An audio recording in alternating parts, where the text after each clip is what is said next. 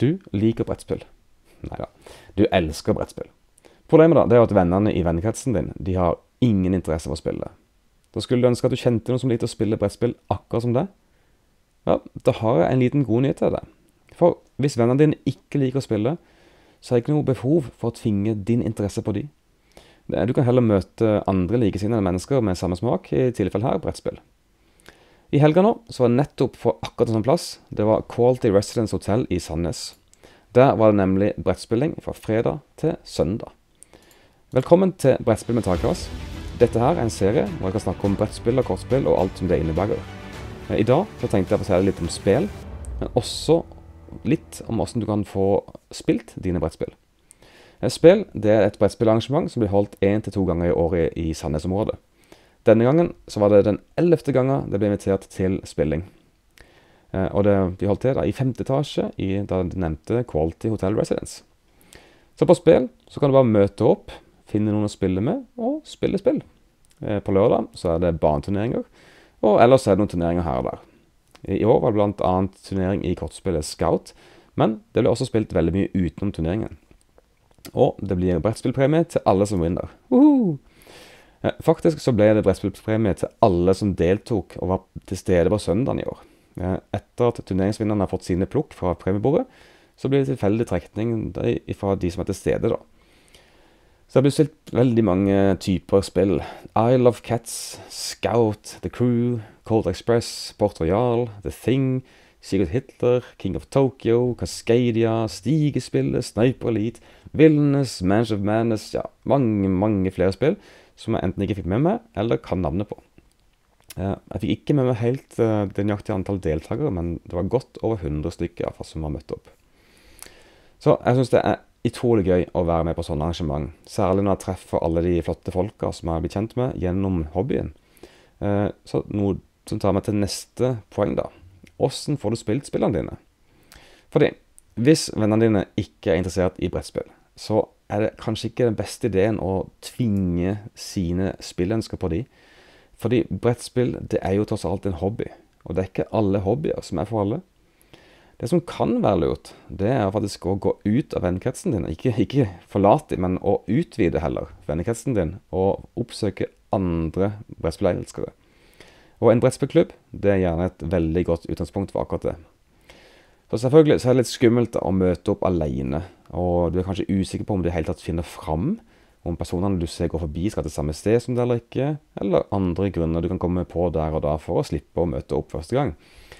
Eh, så jeg husker da jeg møtte opp første gang i Preikestolen Gamers.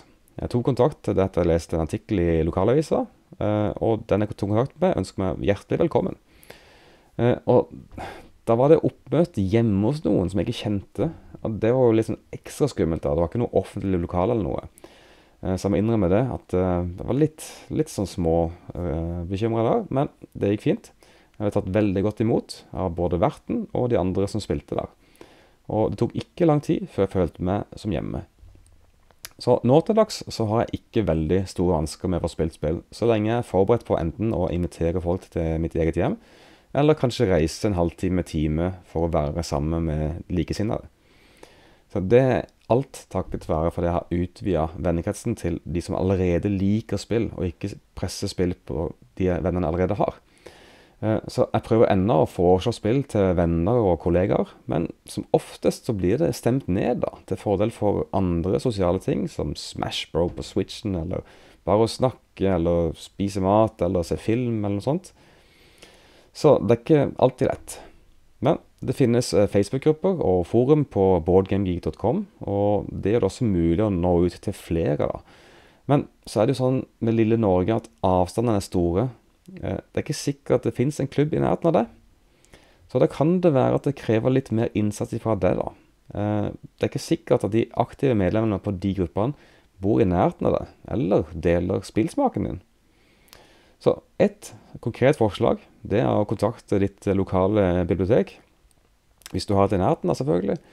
Eh, de er som regel veldig ofte villige til å ta imot nye aktiviteter, så lenge noen tar ansvar for å arrangere dem. Eh, så sett opp et fast tidspunkt. Det er viktig at det er et fast tidspunkt, og regelmessig, eh, for spill. Og få hjelp av biblioteket til å annonsere da, eller skrive opp på program at det finnes en aktivitet som er brettspill. Kan gjerne prøve å lokke til med spill som folk kjenner til fra før av. da. Det kan være Ticket to Ride eller Settles of Catan eller andre mer kjente, moderne spill. Ja, Tre fra Mars og Wingspan er kanskje forslag på det òg, men det, det, er kanskje litt på neste nivå. Men det er kanskje nøyaktig det du er ute etter også. Who knows? Så det er ikke sikkert at noen møter opp første gangen, og det kan føles som motbakk og vanskelig. Eh, og det er heller ikke sikkert at de som kommer, ønsker å prøve liksom, de spillene som du har der og da. Eh, men det er en fin start, iallfall. Eh, det er viktig for deg å spille med dem, og bli kjent med dem iallfall. For da kan du bygge videre på det. For brettspillere, det fins overalt. Kanskje i nabohuset. Men det er liksom bare det å vite om hverandre. Det er det som er den store utfordringa.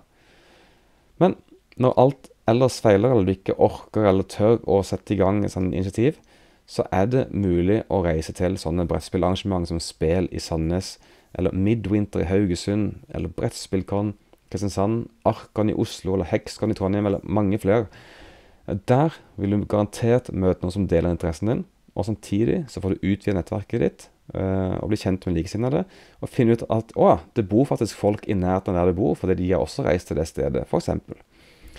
Så har du et tips til hvordan du får spilt spill når vennene dine ikke vil? Syns du sånn online-tjenester som Yukata eller Ballgame Arena det er godt alternativt når du ikke får møtt opp fysisk? Det hører gjerne fra i kommentarene under her. Men nå er det over til den neste spalten. Ukens spill. Denne gangen så blir det en eh, minianmeldelse, eh, og det er av en lisens som jeg liker veldig godt. Det er Star Wars originaltrilogien. Ja, og så tar jeg også med meg Rogue One-forløperen i samme slengen. da. Det henger godt sammen der. Spillet det er Star Wars The Deck Building Game fra Fancy Flight Games. Så først og fremst så må jeg si at det her det må være det mest generiske navnet på et spill noensinne. Ikke Star Wars The Fate of the Galaxy eller Star Wars Duel of the Force eller noe sånt. Nei da. The Deck Building Game. Ja, og Samtidig så tenker jeg sånn Hm, det er kanskje ikke en dum tittel. For målgruppen det er sikkert ikke meg eller de som er i hobbyen, men heller å nå ut til så mange Star Wars-fans som overhodet mulig, og så selge mange kopier, selvfølgelig. Så i dag så er det sikkert flere som kjenner til Dominion, eller kanskje i det minste begrepet dekkbilder, uten å være investert i hobbyen direkte. Så hvis de kjøper det spillet her basert på dekkbilder, så får de jo faktisk nøyaktig det de forventer seg. Men hva med oss i hobbyen, da? Enda et dekkbildingsspill ja, det er faktisk det. Uh, men samtidig så er jo dekkbuilding noe jeg personlig liker veldig godt i spill. For så har du Clank eller Harry Potter og Hogwarts Battle. Det er utrolig gøye spill, de to. Det fungerer fordi de bruker dekkbuilding som en mekanikk, men så tilfører de bitte litt ekstra, som en krydder på toppen, som gjør det helt unikt, og det passer da til temaet sitt. Men åssen skiller da Star Wars The Deck Building Game seg ut? Det ligner veldig på Star Realms. Eh, og Det er to spillere da, som kjemper mot hverandre. De har en felles meny i midten med kort som skifter ut, som du kan kjøpe fra. Og så handler det om å gi nok eh, skade til motstanderen for å da vinne til slutt. Så hvorfor ikke bare kjøpe Star Realms? Ja, Star Realms koster faktisk en brøkdel av Star Wars, så det er jo en fin start. Men Star Realms er også veldig eh, basic, eller grunnleggende enn Star Wars The Deck Building Game. Uh, I Star Wars så har de lagt til en sånn force tracker, en sånn skala som viser om uh, kraften er sterk med deg eller med motstanderen. noen av de kortene du får tak i, de er mye bedre hvis kraften er med deg. og det å drive manipulere den tracken opp og ned er utrolig viktig. I tillegg så er det kort fra menyen som bare kan kjøpes av rebellene, og kort som bare kan kjøpes av imperiet. Eh, ellers er det nøytrale kort som begge kan få tak i. Så det er tre typer valører å tenke på her. Du har kraften, du har penger, og du har angrep. Eh, kraften justerer på den her forced tracken, og den, den, blir sånn helt til noen velger å manipulere den igjen. Pengene det er sånn uh, hurtiggreier. Du må bruke de på din tur. Hvis ikke, så er de tapt. Uh, angrep er også likt, men skaden du har gjort, den blir liggende på kortene til motstanderen eh, fram til de fjerner det, eller ja, dør eller fjernes eh, skaden. Så det som er litt kult her, da, det er at du kan angripe kortene som ligger i menyen i tillegg. Eh, hvis du er imperiet, så kan du angripe rebellene i midten, og du får en dusør. Eh, kortet blir i tillegg kasta vekk i kastebunken, så samtidig får du en belønning, men du fjerner også kortet fra en motspiller. Så det er jo kjempebra at du får en belønning for å fjerne kortet, i tillegg til å fjerne kortet fra menyen som motstanderen gjerne har lyst på. Uh, du kunne jo kanskje brukt skaden til å skade basen til motstanderen, som faktisk er måten du vinner på, men du har valget da til å gjøre dette istedenfor. Og basene de er skikkelig kule. Uh, du starter med en planet hvor basen din er på. Uh, første spiller som ødelegger nok baser, vinner. da. Så når du får nok skade på basen din, så må du bytte den ut med en ny base. Men du bytter ut med en base som gjerne gir deg en kraftig egenskap som kan snu vinden i kampen. Så viktige er disse basene. Uh, Starrams har også et skip altså nå snakker vi om Starrams igjen da, som kan blokkere skade mot basen din. Uh, og de finner du også her i Star Wars. Uh, de er ganske likt. altså De blokkerer skade mot basen din. Og de blir værende foran spilleren helt til motstanderen slår de ut. Men skade som de får, de blir liggende frem til de dør eller blir fjerna. Så Star Wars The Deck Building Game de treffer akkurat der de skal. Dette er et skikkelig fint spill som er enkelt å lære, seg, lære og ikke minst lære bort. Eh, du får følelsen av å bygge opp noe. Det er ekstra kult når du får eh, sånn fete komboer med helter og skurker fra filmene. Eller når du fjerner Darth Vader eller fjerner Luke Skywalker fra menyen, så motstanderen ikke får tak i dem. Mange kule og gøye øyeblikk der. Eh, jeg var faktisk med og playtesta dette her før det fikk grafikk på kortene, og jeg likte det allerede da. Men nå, i endelig form, så syns jeg det er et kjempefint spill. Det er en skikkelig god gave til de som er bitte litt interessert i brettspill eller Star Wars. Og jeg skal beholde min kopi. Og navnet mitt står forresten i regelheftet. Men det er ikke viktig. Så eh, det neste jeg vil prøve med Star Wars nå, det er å spille med to mot to. Men da må du ha en ekstra kopi av spillet. Så dette er en klar anbefaling. Jeg gir det åtte av ti på Borgen Geek-skalaen.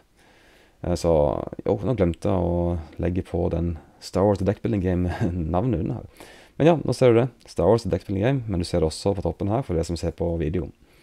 Men ja, tusen takk for at du så på eller hørte på denne episoden, som er tilgjengelig først og fremst på YouTube. Men du finner den også på Apple Podcast, Google Podcast og Spotify. Eh, jeg kommer forresten til å legge lenker i beskrivelsen til noen sånne brettspillhendelser som jeg vet om.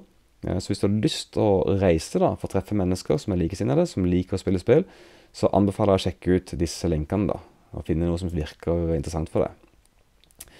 Ja, som vanlig, husk å trykke på liker-knappen og abonner-knappen, og gjerne del med venner. Eh, og kommenter hva du syns om eh, spillet, hva du syns om eh, ideene mine om å nå ut til brettspillere. Eller kom med andre kommentarer.